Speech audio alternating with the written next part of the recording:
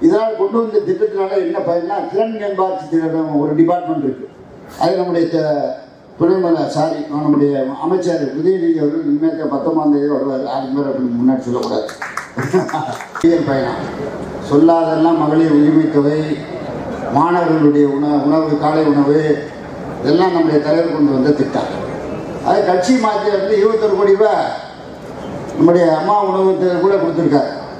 அது கட்சி மாச்சரியம் கிடையாது படிப்பில் கல்வியும் மருத்துவமும் இரண்டு கண்கள்னு சொன்னார் நம்முடைய முதல்வர். அந்த அடிப்படையில் கல்வியை தான் அவர் மிக நேசிக்கிறார். அந்த அளவில் மாணவர்கள் நீங்கள் எல்லாம் பயன்பெற வேண்டும் என்ற நோக்கத்தின் அடிப்படையிலே தான் இந்த திட்டத்தை கொண்டு வந்திருக்கிறார்.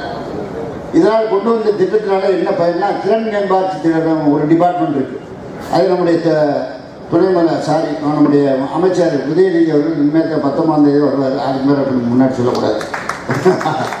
அதனால் இப்போ அவர் அவர் பார்க்குறார். அவருடைய இதில் இருபத்தெட்டு லட்சம் பேர் மாணவர்கள் வேலை பார்க்குறாங்க வேலை வாய்ப்பு ஆக இந்தியாவில் தொழில்துறையில் தமிழ்நாடு முன்னணி மாநிலமாக இருக்கிறது. நம்முடைய முதலமைச்சர் இருபத்தி ஏழாம் தேதி போகிறார் போய் அங்கே இருக்க தொழிலாளர் அங்கே இருக்க தொழில் முதலீட்டாளர்களை சந்தித்து நிறைய தொழிற்சாலைகள் வரப்போகுது வேலைக்கு வராங்க